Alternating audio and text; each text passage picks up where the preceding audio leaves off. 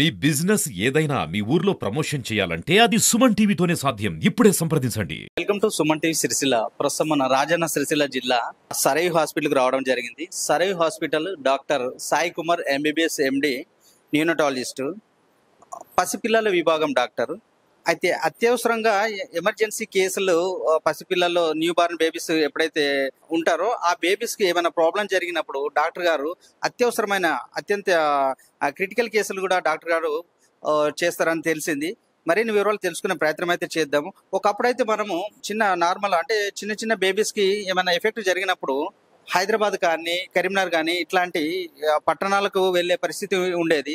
కానీ ఇప్పుడు అలాంటి పరిస్థితి లేకుండా మన రాజన్న సిరిసిల్ల జిల్లాలో అత్యాధునిక టెక్నాలజీ తోటి డాక్టర్ సాయి కుమార్ గారు న్యూనటాలజిస్ట్ గారు సేవలు చేస్తున్నారని మనకు తెలిసింది. ఒకసారి మరిన్ని వివరాలు అడిగి మనం తెలుసుకునే ప్రయత్నం అయితే చేద్దాం. ఒకసారి రండి మీరు.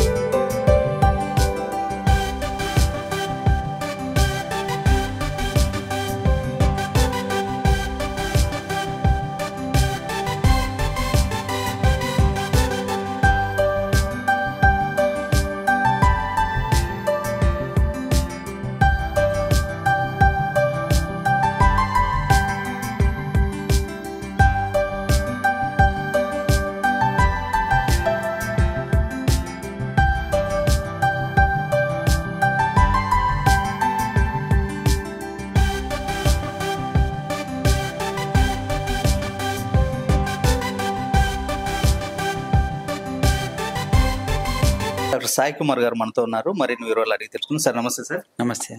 సార్ మీ గురించి మేము విన్నాము. జస్ట్ ఏంటంటే ఇప్పుడే పుట్టిన పసిపిల్లల్లో జస్ట్ వాళ్ళ క్రిటికల్ కేసులు అంటే పసిపిల్లలు ఆరోగ్య సమస్యలు వెంటనే రాగానే వాళ్ళు హైదరాబాద్ కరీంనగర్ వెళ్ళే పరిస్థితి. అట్లాంటిది మన హాస్పిటల్కు వస్తున్నారని తెలిసింది. అలాగే ఎవరైతే పసిపిల్లలు ఉన్నారో వారు తొమ్మిది వందల గ్రాములు కానీ ఒక కిలో రెండు వందల గ్రాములు కానీ ఇలాంటి బేబీస్ బాగా క్రిటికల్గా ఉన్నప్పుడు అంటే అబ్బా ఏదైతే బేబీస్ ఉన్నారో చాలా అంటే ఆ పరిస్థితిలో తల్లిదండ్రులు ఒక ఆందోళన చెందుతారు. సో అలాంటప్పుడు ఈ ఎమర్జెన్సీ కేసులు మీరు ఎలా షేర్ చేస్తారు? ఓకే. ఇక్కడ ఇంతకుముందు అంటే సిరిసిల్లాలో ఇట్లాంటి చిన్న తక్కువ బరువు పుట్టిన బేబీస్ అన్ని పూర్తిగా సదుపాయాలు ఉండకపోయేది. సో దానికోసమే త్రీ ఇయర్స్ బ్యాక్ మేము ఇది స్టార్ట్ చేసాం. ఇది కంప్లీట్గా మెయిన్గా ఫోకస్ నియోనెటాలజీ అంటే అప్పుడే పుట్టిన బేబీస్కి ట్రీట్ చేయడం. అప్పుడే పుట్టి ప్రాణాపాయ స్థితిలో ఉండడం. ఫర్ ఎగ్జాంపుల్ ముందే నెలలు నిండకుండా ముందే పుట్టడం. తక్కువ బరువుతో పుట్టినాం. పుట్టినప్పుడు ఏమైనా పూర్తిగా లంగ్స్ మెచ్యూరిటీ రాక ప్రాబ్లమ్స్ రావడం.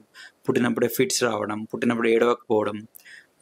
కొందరు బేబీస్ పుట్టి కడుపులో ఉన్నప్పుడే మోషన్ పాజ్ చేసి బయటికి రాగానే శ్వాస ఇబ్బందితో ఉంటారు. సో అలాంటి వాటికి వెంటిలేటర్ సదుపాయం అవసరం ఉంటుంది. సో అలాంటి బేబీస్ని డీల్ చేస్తాం చాలా. అంటే రీసెంట్గా మొన్నటికి మొన్న ఒక తొమ్మిది వందల గ్రాముల బేబీని మీరు డీల్ చేశారని తెలిసింది. సో ఎలా అనిపిస్తుంది? ఆ, అబ్బా ఉంది. ఆ, మంచిగా బేబీ క్యూర్ అయ్యి బయటపడింది. ఎంత సమయం పడుతుంది? ఆ, తొమ్మిది వందల గ్రాముల బేబీ అన్నప్పుడు ఆల్మోస్ట్ ఒక టూ మంత్స్ టైం తీసుకుంటుంది.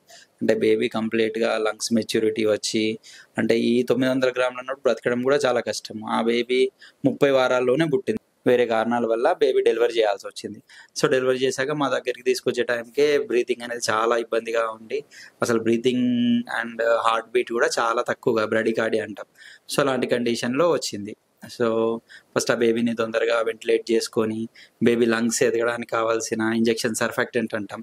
ఆ సర్ఫాక్టెంట్ వెంటనే వచ్చిన పది నిమిషాల్లోనే ఆ సర్ఫాక్టెంట్ అనే ఇంజెక్షన్ ఇచ్చి తర్వాత వెంటిలేటర్ చికిత్స అందిస్తూ బేబీకి కావాల్సిన ఫీడ్స్ ఉంటాయి. బేబీ కావాలి అంటే అంత చిన్న బేబీకి వెంటనే ఫీడింగ్ స్టార్ట్ చేయలేం. బేబీకి కావాల్సిన శక్తిని అంతా మనము గ్లూకోజ్ ద్వారా అందిస్తూ మెల్లిమెల్లిగా మెల్లిమెల్లిగా ఇంప్రూవ్ చేయడం జరిగింది. ఆల్మోస్ట్ ఒక fifty days fifty five days మా హాస్పిటల్లో ఉంది. సో డిశ్చార్జ్ అయ్యే టైంకి eighteen hundred grams baby reach అయ్యి డిశ్చార్జ్ అయిపోయింది. ఇలాంటి బేబీలో చాలా సమస్యలు వస్తాయి. ఒకటి హార్ట్ ఇష్యూస్ హార్ట్ మెయిన్గా లంగ్ ఇష్యూస్ ఆ లంగ్ ఎదకపోవడం దానివల్ల హార్ట్ పైన ఇబ్బందులు బ్లడ్ సర్క్యులేషన్ సరిగా లేకపోవడం బేబీ కూల్ అయిపోతుంది హైపోథర్మియా అంటాం. వెంటనే ఇన్ఫెక్షన్ గ్యాస్ చేస్తుంది. బ్రెయిన్లో కూడా బ్లీడింగ్ అయ్యే ఛాన్స్ ఉంటుంది. బ్రెయిన్ సరిగా ఎదకపోవడం సో వెంటిలేట్ చేసే టైంలో బ్రీదింగ్ ఆపేస్తుంది. ఆప్నే అంటాం. రిపీటెడ్ రిపీటెడ్గా సో ఇవన్నీ సమస్యలు ఉంటాయి. ఇవన్నీ సమస్యల్ని చూసుకుంటూ at a time four to five సమస్యలు మనం క్యూర్ చేసుకుంటూ మళ్ళీ బేబీ ఫీడింగ్ ఇస్తూ కొంచెం వెంటిలేటర్ నుంచి బయటకు రాగానే కొద్ది కొద్దిగా ఫీడింగ్ స్టార్ట్ చేసి మదర్ని ఇక్కడనే పిలిపించి మదర్ని కేఎంసీ కంగారు మదర్ కేర్ అని బేబీని మదర్ పైనే ఉంచుతూ ట్రీట్మెంట్ కంటిన్యూ చేసుకుంటాం. సో అలా స్లో స్లోగా స్లో స్లోగా బేబీ అనేది ఇంప్రూవ్ అయింది. సో తర్వాత ఇలాంటి బేబీస్లో మెయిన్గా కళ్ళ సమస్య వస్తుంది. రెటీనా పూర్తిగా మెచ్యూర్ కాకుండా ఆర్ఓపి అనే ఇష్యూస్ వస్తాయి అనమాట సో లక్కీగా ఈ బేబీకి అయితే ఆర్ఓపి ఇష్యూస్ రాలేదు బ్రెయిన్లో బ్లీడింగ్ రాలేదు. సో అంత బాగా జరిగింది. సో పేరెంట్స్ కూడా హ్యాపీగా డిశ్చార్జ్ అయ్యారు. సరే అప్పుడే పుట్టిన బేబీస్లో ఏడవడం అనేది కూడా జరగదు అప్పుడప్పుడు.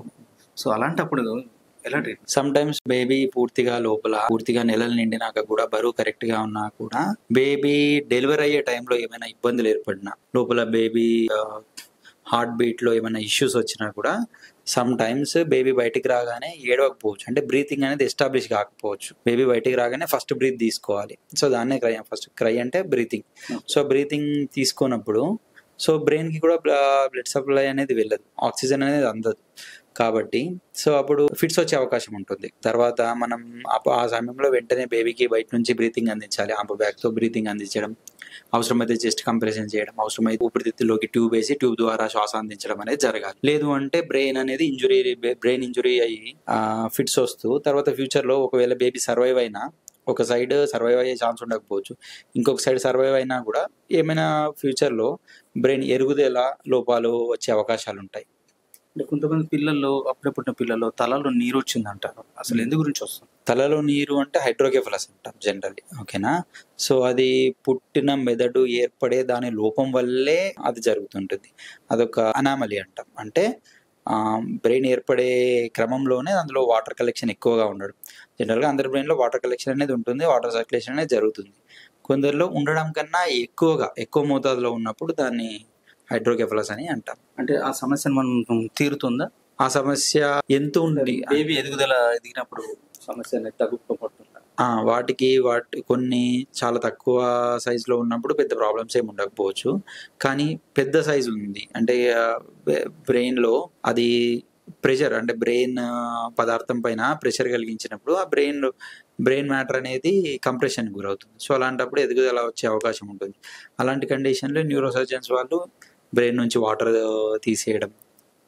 లేదా బ్రెయిన్కి సంబంధించిన ఆ వాటర్ని ఎక్సెసివ్గా కడుపులోకి వెళ్ళిపోయేలాగా ట్యూబ్తో కనెక్ట్ చేసి సో డిఫరెంట్ ప్రొసీజర్స్ ఉంటాయి.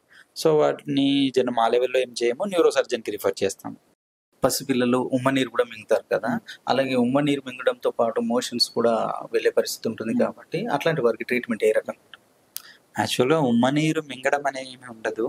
బేబీ కడుపులో ఉన్నప్పుడు లంగ్స్ అంతా కంప్లీట్గా ఉమ్మనీరుతోనే ఉమ్మ నీరుతోనే నిండి ఉంటుంది. బేబీ మదర్ కడుపులో ఉన్నప్పుడు లంగ్స్ అనేవి ఫంక్షనల్ ఉండవు. లంగ్స్ అనేవి పనిచేయవు బయటికి రాగానే ఆ ఉమ్మ నీరు క్లియర్ అవుతూ బేబీ బ్రీతింగ్తో ఆ లంగ్స్లో గాలి నిండుతుంది.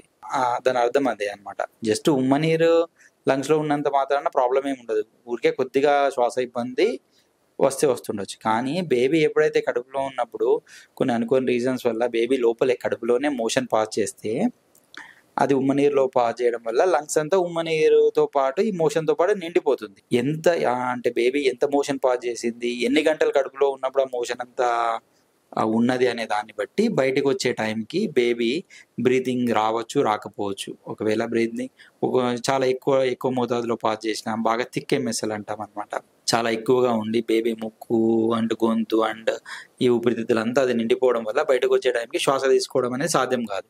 సో అలాంటి టైంలో మనం వెంటనే బేబీకి బ్రీతింగ్ రిసాస్టేషన్ అనేది స్టార్ట్ చేయాల్సి ఉంటుంది. ఒకవేళ కొత్త మోతాదులో వెళ్ళినప్పుడు బేబీ తనంతర తాను బ్రీతింగ్ తీసుకున్నా లోపలికి వెళ్ళిన ఆ మోషన్ అనేది లంగ్స్లోకి వెళ్ళడం వల్ల బయటకు వచ్చాక చాలా ఇబ్బంది అనేది ఉంటుంది. శ్వాస తీసుకోవడానికి ఇబ్బంది పడుతుంది. రెస్పిరేటరీ డిస్ట్రెస్ అంటాం. సో దాన్ని బట్టి ఇనీషియల్గా సీపాప్ సపోర్ట్ సీపాప్ అనే పరికరంతో అదొక వెంటిలేటర్ లాంటి పరికరంతో లంగ్స్ కంప్లీట్గా ఎక్స్పాండ్ అయ్యేలాగా ట్రీట్మెంట్ అందిస్తాం. కొన్ని సందర్భాల్లో ఈ సివియారిటీని బట్టి సర్ఫాక్టెంట్ అనే మెడికేషన్ కూడా అవసరం. ఎందుకంటే ఈ సర్ఫాక్టెంట్ అనే మెడికేషన్ సర్ఫాక్టెంట్ అనే పదార్థం లంగ్స్లో న్యాచురల్గానే ఉంటుంది. అది లంగ్స్ మంచిగా ఎక్స్పెండ్ అవ్వడానికి హెల్ప్ అవుతుంది. ఇప్పుడు మీకు ఉంటుంది నాకు ఉంటుంది. కానీ మోషన్ లోపలికి వెళ్ళిన వల్ల అది ఒక్కొక్కసారి డియాక్టివేట్ అయిపోతుంది.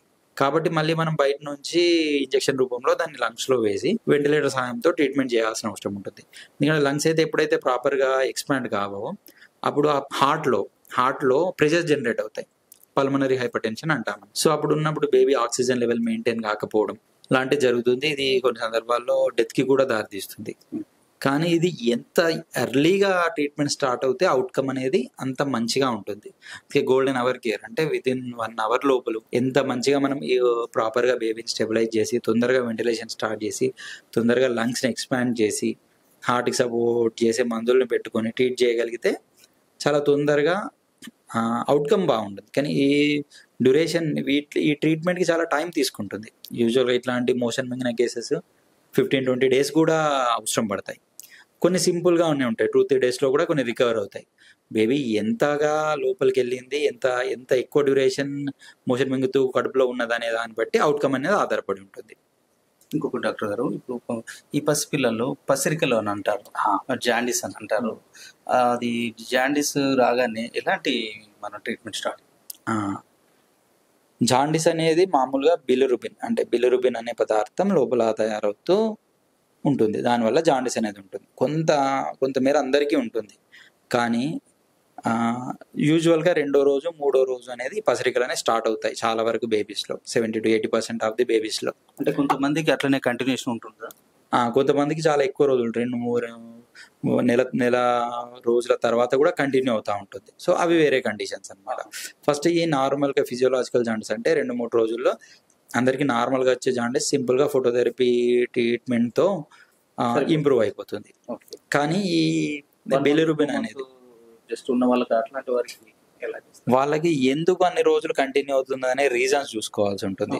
సో అలా కంటిన్యూ అవడానికి చాలా రీజన్స్ అంటే లోపల కంటిన్యూస్గా ఇవి రక్త కణాలు ఆర్బీసీ కంటిన్యూస్గా పగిలిపోతూ ఉంటాయి. కొన్ని హిమోలైటిక్ అనీమియాస్ అనే కండిషన్స్లో సో వాళ్ళకి కంటిన్యూస్గా ఈ జాండీస్ అనేది ప్రొడ్యూస్ అవుతూ ఉంటుంది. ఓకేనా? కొన్ని కండిషన్స్లో బ్లడ్ గ్రూప్ ఇన్కంపాటబిలిటీ అంటే mother mother negative blood group ఉండి బేబీ పాజిటివ్ బ్లడ్ గ్రూప్ ఉన్నప్పుడు. సో వీళ్ళకి ఏంటంటే డే వన్ చాలా ఎక్కువగా స్టార్ట్ అవుతుంది. విత్ ఇన్ ట్వంటీ ఫోర్ అవర్స్లోనే చాలా ఎక్కువగా స్టార్ట్ అవుతుంది. కొందరికి లోపల ఎంజైమ్ ప్రాబ్లమ్స్ కొన్ని మెటబాలిక్ డిజార్డర్స్ అనేవి ఉంటాయి. కొన్ని హైపోథైరాయిడ్ ప్రాబ్లమ్స్ ఉన్నా లేకపోతే బేబీలో సెప్సిస్ ఉన్నా చాలా ఎక్కువ రోజులు కంటిన్యూ అవుతూ ఉంటాయి. కానీ కొన్ని పథలాజికల్ జాండీస్ అంటే డే వన్లోనే డే జనరల్గా రెండో రోజు మూడో రోజు ఇలా స్టార్ట్ అవుతాయి. అది కూడా ఎక్కువ లెవెల్లో స్టార్ట్ అవ్వదు. కొందరు బేబీకి డే వన్ అంటే విత్ ఇన్ ట్వంటీ ఫోర్ అవర్స్లోనే చాలా ఎక్కువ మోతాదులో స్టార్ట్ అవుతాయి. అంటే ఇంకొకటి ఇప్పుడు కొంతమంది బేబీస్కు ఆ, మనకు ఏంటంటే సన్ సన్లైట్ కింద సన్లైట్కు చూపిస్తా ఉంటారు. అలా చేయొచ్చా? సన్లైట్కు చూపించడం అంటే ఈ జాండీస్ అనేది కరగడానికి ఈ బ్లూ కలర్ లైట్ అనేది అవసరం. ఓకే. ఈ some four hundred to five hundred nanometer స్పెక్ట్రమ్లో ఉండే బ్లూ లైట్ అనేది అవసరం. ఓన్లీ అంటే బ్లూ లైట్ సో ఇప్పుడు మనకు సన్లైట్లో అన్ని రకాల లైట్స్ వస్తాయి. యూవీ రేస్ ఇన్ఫ్రారెడ్ రేస్ ఇవన్నీ కూడా ఉంటాయి. సో దానిలో వచ్చే ఈ బ్లూ లైట్ మోతాదు అనేది చాలా తక్కువ. ఉపయోగం పెద్దగా ఉండదు. బట్ ఇంకా ఫాలో అవుతుంటారు కాబట్టి నడిచిపోతుంది కానీ దీనికి కావాల్సిన లైట్ అనేది బ్లూ లైట్ బ్లూ లైట్ ఓకేనా సో బేబీ ఈ జాండీస్ అనేది అవర్ స్పెసిఫిక్ అంటే బేబీ డ్యూరేషన్ బట్టి అంటే బేబీ పుట్టిన తర్వాత ఒక్కొక్క రోజుకి ఒక్కొక్క వాల్యూ డేంజరస్ అనమాట. ఫస్ట్ ట్వంటీ ఫోర్ అవర్స్లో ఫైవ్ మిల్లీగ్రామ్స్ కన్నా ఎక్కువగా ఉన్నా సెకండ్ డే వరకు టెన్ మిల్లీగ్రామ్స్ కన్నా ఎక్కువగా ఉన్నా థర్డ్ డే ఫిఫ్టీ మిల్లీగ్రామ్స్ కన్నా ఎక్కువగా ఉన్నా అవి సీరియస్గా వెళ్ళే ఛాన్స్ ఉంటుంది. వాళ్ళకి తొందరగా ఫోటోథెరపీ అనేది స్టార్ట్ చేసుకోవాల్సి ఉంటుంది. కంటిన్యూస్గా హై ఎక్కువ లెవెల్లో వస్తుంది అన్నప్పుడు ఏ రీజన్తో వస్తుందనే రీజన్ కోసం కూడా ఇప్పుడు చెప్పినట్టు ఈ బ్లడ్ గ్రూప్ డిఫరెంట్గా ఉన్నా నెగిటివ్ బ్లడ్ గ్రూప్ ఉన్నా వేరే అదర్ రీజన్స్ లోపల బ్లడ్ పగిలిపోతా ఉన్నా సెప్సిస్ ఉన్నా ఇట్లాంటి వాటిని రీజన్ అనేది కనుక్కోవాల్సి ఉంటుంది. సింపుల్గా ఫోటోథెరపీ పెడితే సరిపోదు. మళ్ళీ మళ్ళీ వచ్చే అవకాశం కూడా ఉంటుంది సార్ ఒకటి ఇప్పుడు పెద్దవాళ్ళం ఫిట్స్ చూసాం మనము. నవజాత శిశువులు ఏదైతే ఉంటారో అప్పుడు బేబీస్లో కూడా ఫిట్స్ వస్తాయని తెలిసింది. మరి ఆ ఫిట్స్ ఏ రకంగా వస్తాయి? తర్వాత ఈ ఫిట్స్ రావడానికి గల కారణం ఏంటి? ఇంకొకటి ఏంటంటే ఈ ఫిట్స్ను మనం ఎలా గుర్తించవచ్చు? ఫిట్స్ బేబీస్లో కూడా డే వన్ అంటే మొదటి రోజు నుంచి కూడా ఫిట్స్ వచ్చే అవకాశం ఉంటుంది. కానీ ఏ పుట్టిన తర్వాత ఏ రోజు ఎన్ని గంటల తర్వాత వచ్చిందనే దాన్ని బట్టి డిఫరెంట్ డిఫరెంట్ రీజన్స్ ఉంటాయి. ఇప్పుడు ఫర్ ఎగ్జాంపుల్ కొన్ని first twelve hours first twenty four అవర్స్లోనే fit start అవుతాయి కొందరికి. మెయిన్గా రీజన్ పుట్టి విన్న వెంటనే ఏడవకపోవడం కడుపులో ఉన్నప్పుడు బ్రెయిన్కి ఆక్సిజన్ అందకపోవడం. సో అలాంటి కండిషన్స్లో విత్ ఇన్ ట్వంటీ ఫోర్ అవర్స్లో కూడా ఫిట్ స్టార్ట్ అవుతాయి. కొందరికి బ్రెయిన్లో బ్రీడింగ్ అవ్వడం ఏదైనా ఇబ్బందిగా బేబీ డెలివరీ ఇబ్బంది అవ్వడం కానీ బ్రెయిన్లో బ్లీడింగ్ అవ్వడమైనా ఇలాంటి బ్రెయిన్ ఏర్పడడంలో సమస్యలు ఉన్నా కూడా థర్డ్ డే ఫోర్త్ డే బేబీకి ఏమైనా ఇన్ఫెక్షన్స్ వచ్చి ఆ ఇన్ఫెక్షన్ బ్రెయిన్ వరకు వెళ్ళి మెనింజైటిస్ అంటాం. సో అలాంటి కండిషన్లో కూడా ఫిట్స్ అనేవి వస్తుంటాయి. కొన్ని conditions third day fourth day పాలు తాగించడం స్టార్ట్ చేసిన తర్వాత కూడా ఫిట్స్ వస్తాయి. మెటబాలిక్ డిజార్డర్స్ అంటే జీవక్రియల్లో ఉండే ప్రాబ్లమ్స్ వల్ల వచ్చే ఇబ్బందులు ఉంటాయి. వాటిలో కూడా ఫిట్స్ అనేది స్టార్ట్ అవుతుంది. సో ఇలాంటి బేబీస్ని ఫస్ట్ మదర్ మదర్ గుర్తించగలుగుతుంది. అంటే నార్మల్గా ఉండే బేబీ సడన్గా ఎక్కువగా ఏడవడం కానీ సడన్గా కళ్ళు కంటి చూపు డిఫరెంట్గా పైకి చూడడం కానీ లేకపోతే బేబీ చాలా గట్టిగా అయిపోవడం కానీ ఓకే. ఓకేనా బేబీ ఒకే విధంగా స్టేరింగ్ లుక్ లాగా ఉండడం కానీ లేదా చిన్న చిన్న కాళ్ళని ఇలా సైకిల్ దొక్కుతున్న విధంగా మార్చడం కానీ సో మదర్ అయితే అబ్నార్మల్ బిహేవియర్ని గుర్తించగలుగుతున్నది. సో బేబీని తీసుకొచ్చి ఎన్ఎస్సీలో అడ్మిట్ చేసి సో బేబీకి కావాల్సిన ఫస్ట్ బేబీని స్టెబిలైజ్ చేసుకోవాలి. బేబీ వైటల్ స్టెబిలైజ్ చేసి బ్లడ్ సర్క్యులేషన్ సరిగా ఉందా లేదా చూసుకోవాలి. సో తర్వాత దానికి సంబంధించిన ఫిట్స్ కంట్రోల్ చేయగలిగే మందులు ఉంటాయి. దాని తర్వాత ఫస్ట్ అసలు ఈ ఏ రీజన్తో వస్తుంది అనేది చూసుకోవాలి. ఎందుకంటే దీంట్లో ఎన్ని రకాల ఫిట్స్ ఉంటాయి సార్? ఫిట్స్లో చాలా రకాలు ఉంటాయి. ఇప్పుడు నేను చెప్పినట్టు ఫిట్స్ ఏ విధంగా వస్తుంది ఫిట్స్ ఏ భాగంలో వస్తుంది ఏ రీజన్తో వస్తుంది అనే దాన్ని బట్టి. సో అందుకే ఫిట్స్ రా ఫిట్స్ ఏ ఏదో వచ్చినా మొదటి ట్రీట్మెంట్ ఒకే రకంగా ఉన్నా ఫస్ట్ ఏ కారణంతో వస్తుంది అనే దానికి ఎవాల్యుయేషన్ అనేది చేసుకోవాల్సి వస్తుంది. ఫర్ ఎగ్జాంపుల్ స్టార్టింగ్లో పుట్టకుండా ఏడవక ఉండడం దానివల్ల వచ్చింది అనుకుందాం. సో దానికి కావాల్సిన ట్రీట్మెంట్ ఎలా చేసుకోవాలి? ఓకేనా? ఫ్యూచర్ ప్రోగ్నోసిస్ ఎలా ఉంటుంది? ఫ్యూచర్లో ఈ బేబీ మళ్ళీ మళ్ళీ ఫిట్స్ వస్తాయా లేదా? తర్వాత పెరుగుదల ఎలా ఉంటుంది అనేది ఈ రీజన్ పైన ఆధారపడి ఉంటుంది. కొన్ని ఇన్ఫెక్షన్తో వచ్చినాయి అనుకుందాం. సో వాటిని ప్రాపర్గా బ్రెయిన్కి సంబంధించిన ఇన్ఫెక్షన్ ట్రీట్ చేసుకుంటే తర్వాత ఫిట్స్ అనేవి ఆగిపోతాయి. మళ్ళీ ఫ్యూచర్లో వచ్చే అవకాశం తక్కువ. కొందరిలో వస్తే రావచ్చు బట్ వచ్చే అవకాశం తక్కువ ఉంటుంది. సో వచ్చిన రీజన్ బట్టి ఏమేమి జాగ్రత్తలు తీసుకోవాలనేది డిపెండ్ అయి ఉంటుంది. అంటే కొంతమందికి పన్నెండు సంవత్సరాల వరకు ఫిట్స్ అంటే కొంతమందికి ఉంటాయని తెలిసింది. మరి అలా ఉంటాయా ఫిట్స్ కూడా? ఉంటాయి. అదే. బేబీకి ఏ రీజన్తో ఫిట్స్ వస్తుందనే దాన్ని బట్టి ఆ ఫిట్స్ ఎన్ని రోజులు కంటిన్యూ అవుతుంది వాళ్ళకి లైఫ్ లాంగ్ ట్రీట్మెంట్ కావాలా కొద్దిగా కోర్స్ ఇస్తే సరిపోతుంది అనేది ఆధారపడి ఉంటుంది. వాడాల్సి వచ్చింది. ఎక్కువ ప్రెషర్ వాడడం వల్ల సమ్ టైమ్స్ ఏమవుతుంది? ఊపిరితిత్తులో నుంచి కొంచెం ఎయిర్ అనేది లీక్ అవుతూ ఉంటుంది. న్యూమోథోరాక్స్ అంటాం. సో న్యూమోథోరాక్స్ కండిషన్ అనేది స్టార్ట్ అయింది. అది అప్పటికే నైట్ నైన్ టెన్ అయిపోయింది. Saturday night. So next day వరకు హెల్ప్ కూడా ఎవరు లేరు. సో అప్పటికి మేము కావాల్సిన న్యూమోథోరాక్స్ దానికి కావాల్సిన ఐసీడీ ట్యూబ్ అది కొంచెం ప్రొసీజర్ చేయాల్సి ఉంది సో దానికోసం నైట్ అంతా కొంచెం నీడిల్ పెట్టి కొద్దిసేపు గ్యాస్ తీసేస్తూ మళ్ళీ ఆ రోజు మిడ్ నైట్ అంతా చాలా కష్టపడి ఇంకో డాక్టర్ హెల్ప్ తీసుకొని సో ఆ ట్యూబ్ వేసి సో మార్నింగ్ వరకు చాలా కష్టంగా బేబీని స్టెబిలైజ్ చేయడం జరిగింది. సో తర్వాత త్రీ ఫోర్ డేస్ ఫైవ్ డేస్లో బేబీ చాలా స్మూత్గా అంటే చాలా బయటకు వచ్చింది చాలా బాగా బయటకు వచ్చింది.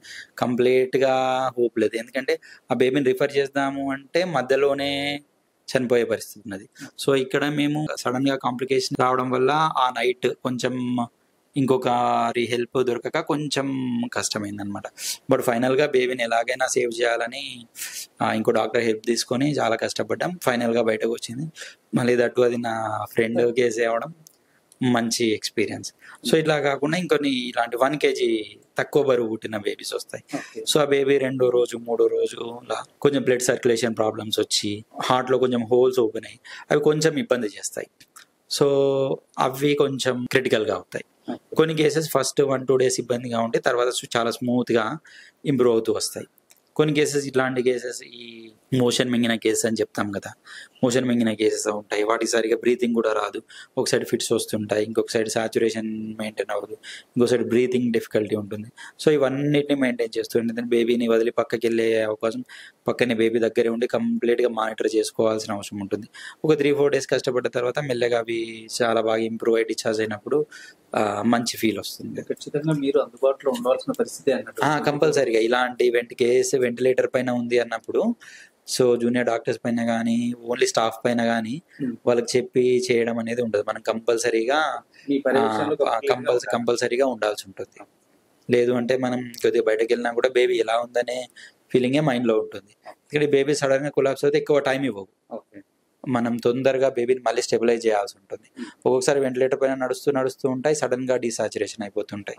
కాబట్టి మనం కంటిన్యూస్ మానిటరింగ్ నర్సెస్ మానిటర్ చేస్తూ ఉంటారు. కొంచెం వాళ్ళకి చెప్తుంటాం ఏదైనా అబ్నార్మల్ కనిపించినా వెంటనే ఇన్ఫార్మ్ చేయమని చెప్తుంటాం బట్ కంటిన్యూస్గా ట్వంటీ ఫోర్ అవర్స్ అవైలబిలిటీ అనేది చాలా ఇంపార్టెంట్ ఇప్పుడే పుట్టిన పిల్లల్లో జాండీస్ వచ్చినప్పుడు కొంతమంది తల్లిదండ్రులు జస్ట్ ఫోటోథెరపీ కాకుండా ఏం కాదు వాటంతట అవే తగ్గిపోతాయి అని చెప్పి ఏమైనా నెగ్లెన్స్ చేస్తే ఏమైనా ప్రాబ్లం ఏమైనా జరుగుతుందా? ప్రాబ్లం అంటే కంప్లీట్గా లెవెల్ ఆఫ్ జాండిస్ని బట్టి ఉంటుంది. డే వన్కి ఒక cut off day two cut off day three cut off so అట్లా ప్రతి డే కి ఒక కట్ ఆఫ్ వాల్యూ అనేది ఉంటుంది. ఆ కట్ ఆఫ్ వాల్యూ కింద జాండిస్ ఉన్నప్పుడు ప్రాబ్లం ఏమీ అవ్వదు. అంత ఫోటోథెరపీ కూడా అవసరం ఉండదు. ఎప్పుడైతే ఆ కట్ ఆఫ్ వాల్యూ కన్నా రీచ్ అవుతుంది అనుకోండి అది హై రిస్క్లోకి వెళ్తుంది. జాండిస్ లెవెల్స్ అనేవి చాలా fifteen sixteen seventeen eighteen ninety twenty అలా వెళ్ళినప్పుడు అది బ్రెయిన్లోకి వెళ్ళిపోయే అవకాశం ఉంటుంది. ఈవెన్ ఫస్ట్ ట్వంటీ ఫోర్ అవర్స్లో ఫైవ్ మోర్ దెన్ ఫైవ్ ఉన్నా కూడా అది డేంజరే సో ఇది వీటిని తొందరగా మనము ఫోటోథెరపీతో ట్రీట్ చేసుకోవాలి. లెవెల్ని తగ్గించుకోవాల్సి ఉంటుంది. లెవెల్స్ వరకు ఉంటాయా? ట్వంటీ ట్వంటీ ఫైవ్ థర్టీ వెళ్ళే కూడా ఉంటాయి. ఓకేనా? సో ఆ జాండిస్ ఏ రీజన్ వల్ల వస్తుంది? ఎందుకు వస్తుంది అనే దాన్ని బట్టి. సో ఒకసారి అది రీచ్ అయింది అంటే అది బ్రెయిన్కి వెళ్ళి బ్రెయిన్లో డిపాజిట్ అవుతుంది. ఒకసారి అది బ్రెయిన్లో డిపాజిట్ అవుతుంది అంటే బ్రెయిన్ని ఇర్రివర్సిబుల్ డ్యామేజ్. అంటే మళ్ళీ కరెక్ట్ చేయలేని విధంగా. బ్రెయిన్ ప్రాబ్లమ్స్ వస్తాయి. ఫ్యూచర్లో ఎదుగుదల లోపాలు వస్తాయి. ఐక్యూ లెవెల్స్ తగ్గిపోతాయి. నార్మల్ బ్రెయిన్ లా ఉండదు. సో అందుకంటే అది ఇది ప్రివెంటబుల్ అంటే ఇక్కడ నెగ్లిజెన్స్ లేకుంటే ఆ ప్రాబ్లమ్ మనం ప్రివెంట్ చేయగలుగుతాం. సింపుల్ ఫోటోథెరపీతో ఒకప్పుడు అంటే ఒకప్పుడు ఎల్ఈడి ఫోటోథెరపీస్ లేని టైంలో బ్లడ్ కూడా చేంజ్ చేయాల్సి వచ్చేది అనమాట హై హై జాండిస్ వల్ల. Hmm. ఇప్పుడు కరెక్ట్గా ఇన్ టైంలో ప్రాపర్గా ఫోటోథెరపీ కరెక్ట్గా పెట్టుకున్నా కూడా అంత లెవెల్కి పోకుండా మనం దాన్ని ప్రివెంట్ చేసుకోగలుగుతాం. మొత్తానికి అయితే మనము ఈ జాండీస్ వచ్చినప్పుడు కంపల్సరీ మన ఫోటోథెరపీ కానీ ఖచ్చితంగా కానీ మనం చూపెట్టాలంట. చూపెట్టడం ఇంపార్టెంట్. చూపెట్టి బ్లడ్ వాల్యూలో ఆ జాండిస్ బిల్ లెవెల్ ఎంతగా ఉందో చూసుకొని ఆ రోజుకి ఆ లెవెల్కి ఫోటోథెరపీ అవసరమా లేదా అనేది డిసైడ్ చేసుకొని అవసరం అనుకుంటే ఫోటోథెరపీ తీసుకోవడం అవసరం లేదనుకుంటే వెయిట్ చేయొచ్చు. మళ్ళీ డాక్టర్ చెప్తారు ఒక వన్ టూ డేస్లో మళ్ళీ రండి మళ్ళీ వాల్యూ చూద్దాము అనేది. సో ఏదైనా కొంచెం క్లోజ్ మానిటరింగ్ చేసుకుంటే సరిపోతుంది సింపుల్గా. చిన్న జాగ్రత్తతో చాలా పెద్ద ప్రాబ్లమ్ని నివారించవచ్చు జాండీస్లో. అంటే పసిపిల్లలు వాటంతట అవే తగ్గిపోతాయిలే అని అనుకుంటే మాత్రం ప్రాబ్లంలో పడుతుంటే ఆ, ఒకసారి డాక్టర్ సలహా తీసుకోవడం ఒకసారి జాండిస్ లెవెల్ చూసుకొని నిజంగా కొన్ని సింపుల్గా ఉంటాయి. వాటికి లైట్ అవసరం ఉండదు. అలా కన్ఫర్మ్ చేసుకుంటే సరిపోతుంది. దాన్ని డెఫినెట్గా డాక్టర్ దీనికి లైట్ ఏం అవసరం లేదమ్మా సరిగా పాలు తాగించుకోండి సరిపోతుందని చెప్తారు. బట్ ఎప్పుడు ఆ జాండిస్ లెవెల్ అనేది నార్మల్ గానే ఉంది సీరియస్ లెవెల్లో లేదు అనుకుంటే. ఒకవేళ సీరియస్ లెవెల్లో ఉండి మనం ఏం కాదులే అనుకొని ఉంటే అది ప్రాబ్లానికి దారితీయచ్చు. నెగ్లెక్ట్ చేయకపోవడమే మంచిది. సరై హాస్పిటల్లో డాక్టర్ సాయి కుమార్ గారి ఆధ్వర్యంలో ఎమర్జెన్సీ అంటే అప్పుడే పుట్టిన పసిపిల్లలకు ఏదైనా ప్రాబ్లం జరిగినట్లయితే ఎమర్జెన్సీ కేసులను తాను ఛేదించానని చెప్పి అలాగే మనం ఎన్ఐసిలో కూడా మనకు ఎక్విప్మెంట్స్ కూడా చాలా లేటెస్ట్ అంటే కొత్తదనంగా ఉన్నటువంటి ఎక్విప్మెంట్స్ మనము ఇందాక చూసాము. మీరు కూడా అంటే జస్ట్ ఎవరైనా న్యూ బార్న్ బేబీస్ ఎవరైనా ఉంటాయో? జస్ట్ uh, సరే హాస్పిటల్కి విజిట్ చేయండి. ఎందుకంటే ఆ బేబీస్కు మనం ఈ డాక్టర్ గారు ఏంటంటే ప్రాణాపాయ స్థితి నుండి నార్మల్ స్థితికి తీసుకొచ్చే వరకు మన డాక్టర్ గారు అందుబాటులో ఉన్నారు కాబట్టి మొత్తానికి ఈ హాస్పిటల్లో మనము ఎక్విప్మెంట్ చూసాము. అలాగే డాక్టర్ గారు కూడా క్రిటికల్ కేసులు న్యూ బార్న్ క్రిటికల్ కేసులు కూడా ట్రీట్ చేస్తారని తెలిసింది కాబట్టి మొత్తానికి సరే హాస్పిటల్లో మనము ఈ క్రిటికల్ కేసు ఎమర్జెన్సీ విభాగంలో డాక్టర్ సాయి కుమార్ గారు చాలా మంచి సేవలు అందిస్తున్నారు. మీరు కూడా ఏదైనా ఎమర్జెన్సీ క్రిటికల్ కేసులు ఏదైనా న్యూ బార్న్ బేబీస్ ఉంటే కూడా విజిట్ చేయండి. సో కెమెరామెన్ రవితో సతీష్ సుమన్ టీవీ రాజన్న సిరిసిల్ల.